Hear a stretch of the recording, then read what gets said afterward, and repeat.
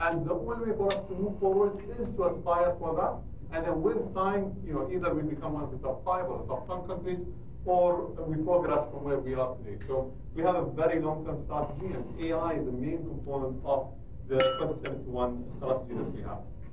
Now, before talking about AI and getting technical about bias and ethics and China and all of these issues, let me talk to you a little bit about the history of our region. We live in a very interesting region, as you all know.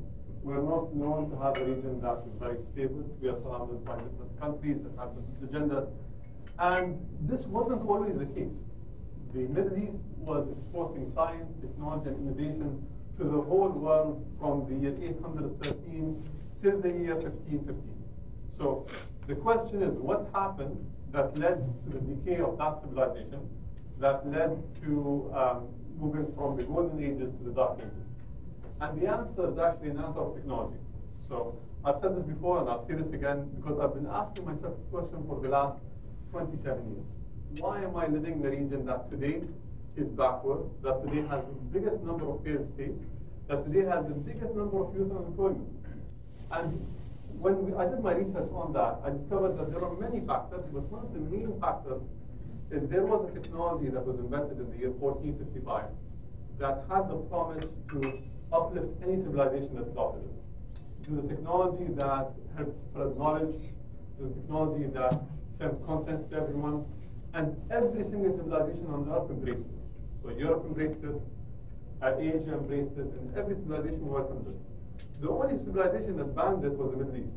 And that was the Gutenberg printing press. so everywhere on earth, people would actually get the content to come right to them at the doorstep of their house, at the comfort of their home they would access any piece of knowledge they want to some extent. So it was the internet back then. And in our region, there were a few specific religious leaders that said, we don't want to accept this technology because it's going to harm our religion and harm our society. Now we know they were wrong. And um, we went from being the most advanced civilization to the most backward civilization on earth. So that got us thinking, what is the next technology that holds the same promise? And that technology today is artificial intelligence. Artificial intelligence is a transversal technology. It touches every single sector and it's going to transform our lives, maybe today, maybe in the next five or 10 years. So we need to be at the cutting edge. We need to do a lot with this technology and we need to be open. At this current state, um, what we're seeing is many governments have different opinions about artificial intelligence. 90% of government leaders have no idea what it is. So I think th there's a nice uh, uh, contrast with human uh, stupidity and artificial intelligence, where the government leaders do not have any idea what this technology is or how it's going to impact them, and it is going to impact them. So uh, I, I, was with a European minister uh, recently, and we were talking about what the UAE is doing and why artificial intelligence is important. And um, right after I finished my long introduction, he said, thank you very much for that. I'm glad that I'm being lectured by a person the age of my son. and he said, we don't care about artificial intelligence, we don't care about these robots that you're talking about. We have bigger issues uh, of unemployment, we have bigger issues in our country, and uh, you know, we don't really care about what you're saying. And I asked him, did you ever use any artificial intelligence application or any, did you ever have any interface with artificial intelligence? He said no. I told him this is the biggest mistake and the, the worst answer you could say because you can't live without artificial intelligence. So he got shocked. I told him, do you use Google? He said, yes. Do you, you know, use, do you have an iPhone? Do you use Siri? He said, yes. I said, you can't live without artificial intelligence because these systems all actually use artificial intelligence. The reason why you have unemployment and you have populism is because of job loss, because of technology. Automation is causing job loss, and artificial intelligence is only going to increase this. So if you don't, uh, you know, address the elephant in the room, you're going to have issues in the future. So not everyone gets it not everyone cares. And I think this is something we need to change. We need to have governments that are proactive rather than reactive. Because when governments are reactive, they tend to over-govern, over-regulate, and do things that don't really make sense. So we need to push them to at least have a seat on the table to understand what's happening and to do something about it. The other thing is, what we're going through right now as a species is we're seeing a lot of things that are happening on the digital realm uh, trickle down and touch us on the physical uh, physical life. So what we're seeing with regards to uh, election meddling, what we're seeing with regards to being able to target certain things to specific people to make them do certain things that they won't necessarily want to do, are things that prove that if we do not look at artificial intelligence seriously, they are going to harm us in the real life. So they're going to harm us in our everyday life. Uh, in the UAE, what we've done so far, quickly before the, the uh, moderation that we have with Danny, we've created councils on the federal and local level. We want to make sure that every single state in the UAE actually benefits from this technology. So every emirate uh, is able to use artificial intelligence to become more competitive, to improve the quality of life. We have a strategy to become the leaders in AI in government specifically. So we want to become the most efficient government. We want to make our citizens happier. And we want to ensure that on a competitiveness standpoint, we are the most competitive government. Governments, they tend to spend 80% of their uh, budgets on just sustaining operations, so operating expenses, and less than 20% on actual investment and improving the, the quality of government and systems that run government.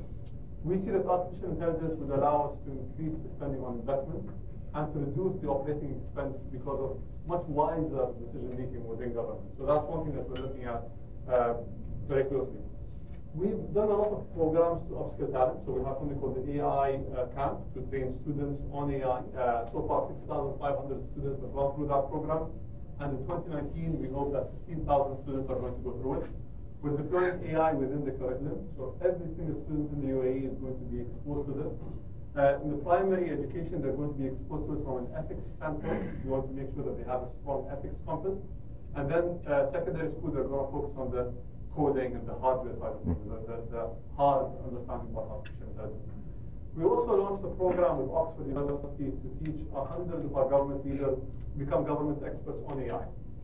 So they've gone through a one-year course. that one-year course uh, taught them the ethical implications, the pros, the cons.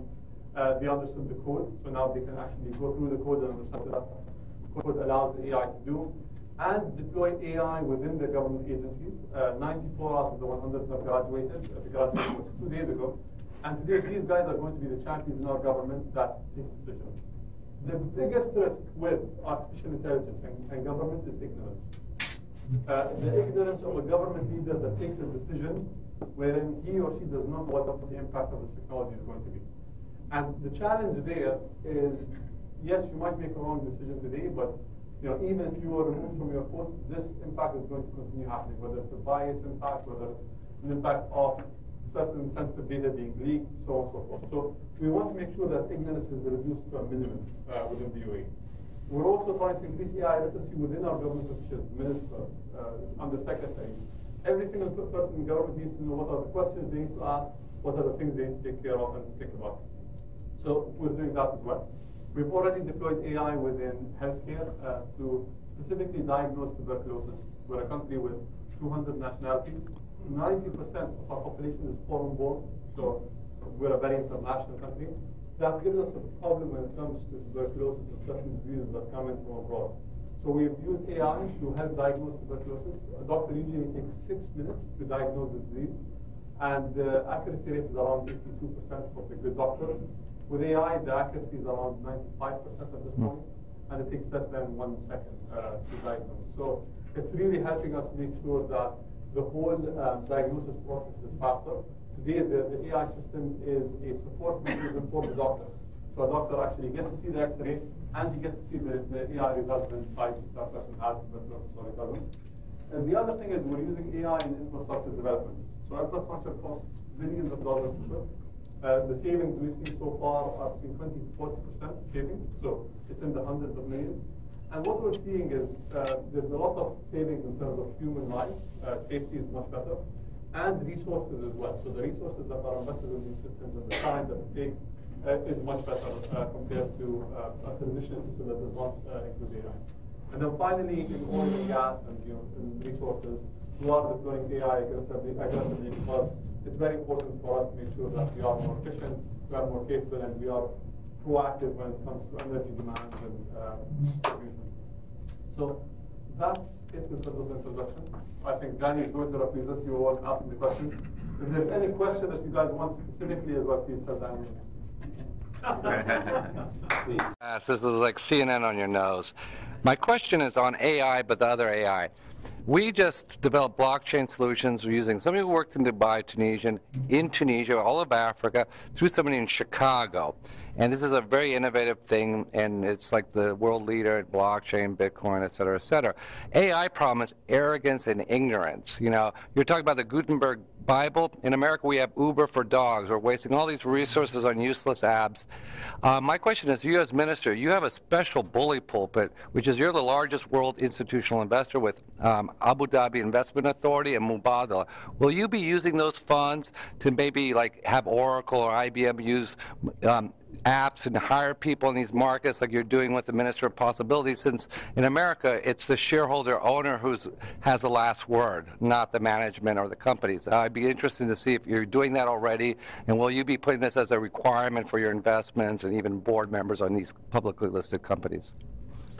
I don't think Uber for dogs is necessarily a bad thing.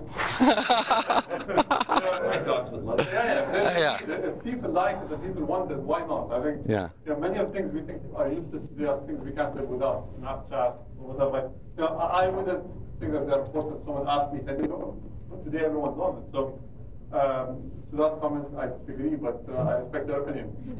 With regards to um, sovereign wealth funds, at the end of the day, their goal in the sovereign funds is to increase the amount of money that the government uh, has and to invest that money in a way that makes sense uh, for the UAE in the future.